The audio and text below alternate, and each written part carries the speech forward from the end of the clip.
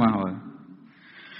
ඔන්න ඉන්නවා බඩගින්නෙන් පිපාසයෙන් අතිශයින් පීඩාවටපත් වෙච්ච මිනිසෙක් ඉන්නවා.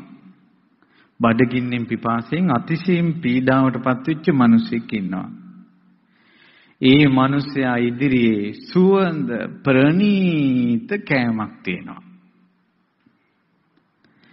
හැබැයි ළඟ ඉඳලා එක්තරා පුරුෂයෙක් කියනවා පින්වත කණ්ඩෙපා. ඕක සුවඳයි තමයි. රසයි තමයි. ප්‍රණීතයි තමයි.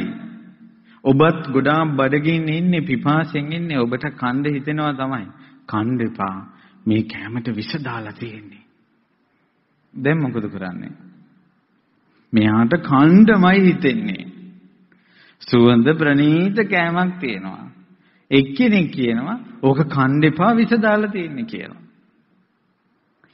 අර කියන කෙනාගේ වචනේ විශ්වාස කළොත් විතරයි මෙයා මේක නොකා ඉන්නේ. නැත්තම් කනවා. ආන් ඒ වගේ රාගෙන් දෙවි දෙවි ඉන්න කෙනාට ෆෝන් එකක් හම්බ වෙනවා. ඇතුළෙත් පිපාසේ කෑමක් තියෙනවා.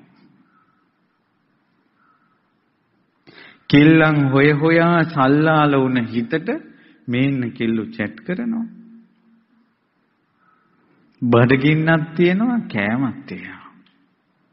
ඔය අනුශාසයෙන් තම තමන්ගේ දුර්වලතා තේරුම් ගන්න. තමන්ටත් බඩගින්න තියෙනවා කෑමක් තියෙනවා. එක්කෙනෙක් එපා කියනවා. කවුද එපා කියන කෙනා?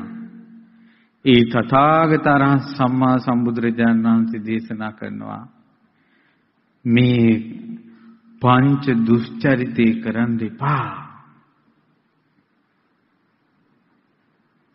දුෂ්චරිතේ කරන්න එපා කියනවා. එච්චරයි කියන කෙනෙකුට ඉන්නේ. ඒ ශාස්ත්‍රෝන් වහන්සේගේ වචනේ කල්යාණ මිත්‍රෙක් කියනවා. එච්චරයි කියන කෙනෙකුට ඉන්නේ. බටහිර ලෝකෙට මේ ආවේගය හෝ මේ දැවිල්ල හෝ මේ රාග දේශ මොහ ඔවුන්ට ප්‍රශ්නයක් විදිහට ඔවුන් කතා නොකරන්නේ ඇයි?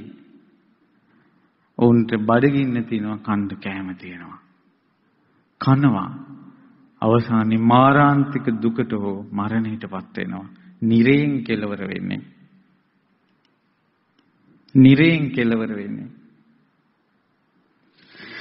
ඉතින්